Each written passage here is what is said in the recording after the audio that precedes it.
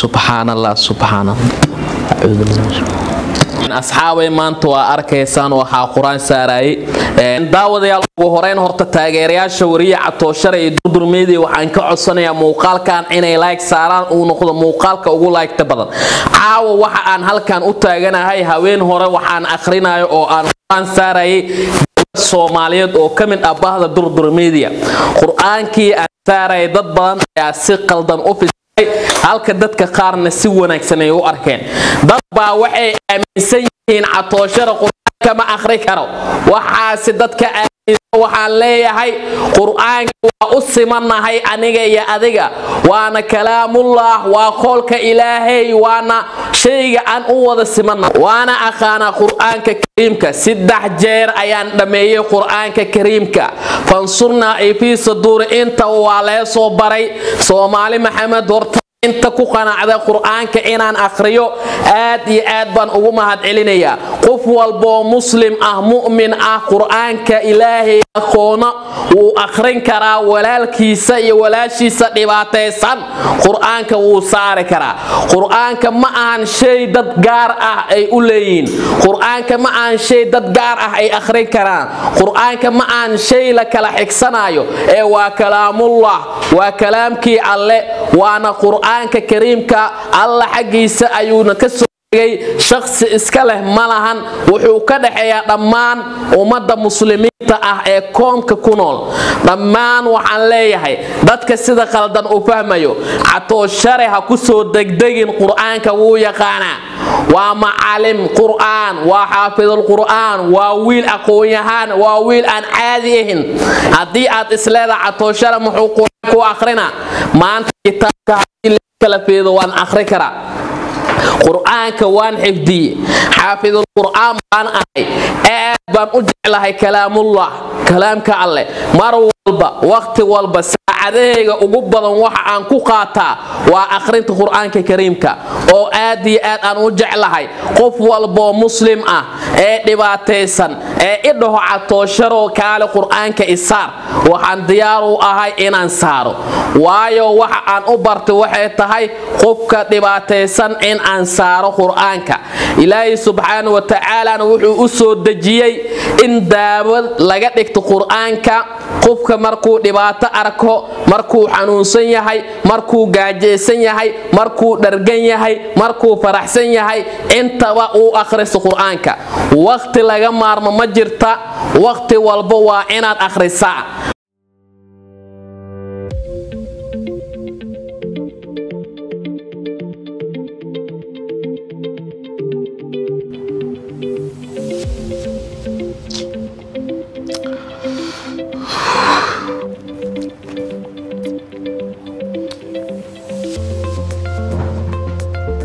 yuusuf oo saaxiibow nimankii saaxiibadaa wax sarifi jiray perfect maning ha igu shabaano aniga kuwaas anaaba wax ka laaba.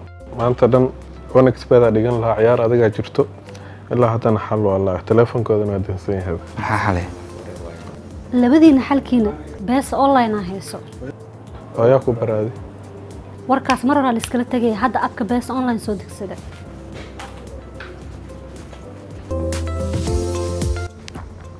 adeegyada aad ka heli kartid besa online exchange waxaa ka mid ah sarifka lacagaha perfect money iyo onexbet haddaba ka maaran nuucista qof kale la soo deg applicationka casriga ah ee besa online oo ku qor play storeka ama app storeka. Besa online kadibna geli nambarkaaga waxaa kuusoo dhici doono koodh ama o t p geli halka kuu muuqata.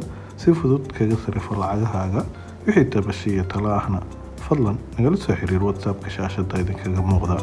War waa sax. Beeso waa qabtiraha sarifka beesadaada. Dadka la yaabay waxaan leeyahay war hooy waad qaldan tihiin wax qaldan baad aaminsan tihiin. Aniga waxaan ahay muslim aryuu muslim? Adigana muslim baa tahay. Qur'aankaas wuu naga wada dhaxeeyaa waxa loo soo dejiyena waxay tahay in ilaahay subxaana wa tacaala loogu dhowaado la akhriyo lagu ducaysto ilaahay wax walbana loogu baryo. Marka waxaan idiin leeyahay soomaali maxamed i dhegaysta. Aniga qur'aanka haddii aan akhriyo waa wax waajib ah oo alla subxaana wa tacaala uu ku waajib yeelay. Qof walboo muslim ah mu'min ah qalbigiisana uu ku jiro inuu akhriyo. Walaalkaa hadduu xanuunsan yahay waa inaad yaasiinka saari kartaa. Walaashaada hadday xanuunsan tahay waa inaad yaasiinka saari kartaa oo aad ku tufi kartaa.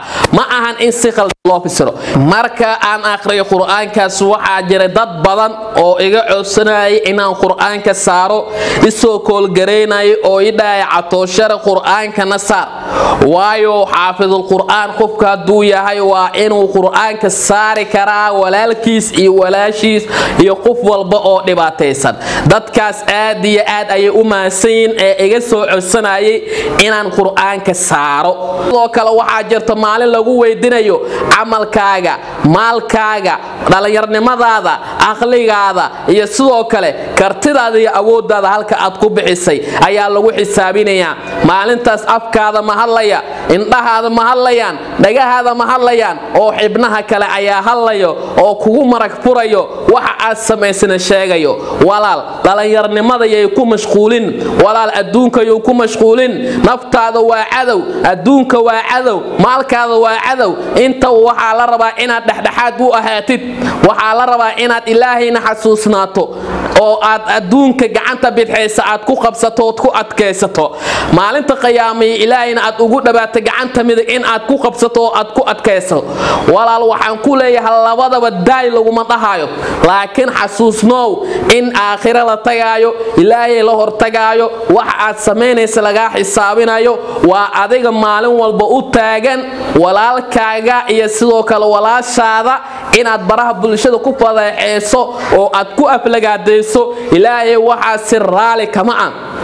Ilaahay kaama ogolaanayo ilaahay ma ogola qof muslim ah in la aflagaadeeyo ilaahay ma ogola qof muslim ah ee kalaamkiisa akhrina in lagu xadgudbo. Waxaan idiin leeyahay soomaaliye isku duubnaada oo ilaahay ka cabsada. Haddii aad adhow kale aad ka shalaay doonto aad dhihi doonto ilaahayow hadda adduunka io celi. Hadda ayaan camal wanaagsan samaysana hadda ayaan wax walba samaysana aad dhihi doonto. Walaal taaska joog. Waa halig waa halis. Wax wanaagsan ma ahan. Adduunkan waa laga tagaa. Maanta dhallinyaraad tahay aqligaada yuu been kuu sheegin naftaada yay been kuu sheegin awooddaada yay been kuu sheegin waxaas oo dhan way dhammaanayaan. Waxaa jira qooman badan oo aad u fara badnaa. Meeqa qoom ayaa soo marta dunidan aad arkayso. Maanta yaa ka nool waa aragtay. Qoom walba waa ay baxeen way tageen aakhiray jiraan maalinta qiyaamo ayay sugayaan. Adigana waa inaad xasuusnaataa sida dadkaasi ay u dhinteen inaad u dhimanayso oo aad bini'aadan tahay. Lagu xisaabinayo ilaahay wejigiisa la tagayo ninka namiimka ah iskudirka ah aflagaadada badan waxaa la leeyahay ma u wanaagsana maalintaas. Waa maalin murug bay u noqon. Marka soomaaliya ilaahay subxaana wa tacaala qur'aankiisa ayuu ku sheegay suuratulmaryam aayadda sagaashan iyo sideedaad. Qoomamkii la halaagay iyo sidoo kaleente qur'aankana ilaahay subxaana wa tacaala uu ku xusay. Marka waxaan idinku waaninaynaa oo aan idinka wacyigelinaynaa inaad ilaahay xasuusataan maalinta qiyaamo xasuusataan oo dhibaatada aad iska dhaaftaan waxaan aad samaynayso dembiga cad ah aad joojiso walaalkaaga dembiga aad ka galaysana aad joojiso si ilaahay raxmadiisa inoogu soo da'do walaalayaal caawa waxaan idinka codsanayaa dhammaan inta wanaagsan oo dhan muuqaalkan inay shirgarayso laygna ay saarto. Waa saaxiibkiin catooshare kamirma maxamed amiin durdur media ayaa nagala socoteen farsamada waa gaduudow dhammaantiinba waxaan rajaynayaa inaad khayrka iyo wanaagga aad ka qayb qaadata nabadgelyo daawade ma ku dhibtoonaysa xanuunka baawasiirka oo muddo dheer mala daalaadhacaysay haddaba waxaa laguu keenay sad dhammaystiran oo aad ku daawoobaysid oo loogu talagalay xanuunka baawasiirka. Waxaa lagu magacaabaa himosad balas waxaadna ka helaysaa dhammaan farmashiyayaasha. Sidoo kale waxaa laguu keenay emhebta balas oo asagana kuu furaya ambateedka dumarkana khaas ahaan u roon quruxdoodana soo saaraya. Hadda la xiriir farmashiyayaasha si aad iskaga daawayso xanuunkan baawasiirka ah adigoo helaya sid dhammaystiran oo lagu magacaabo himasad balasna waxaad la xiriiri kartaa lixdan iyo shan labaatan iyo saddex cibar labo hore u gaar oo ka faa'iidey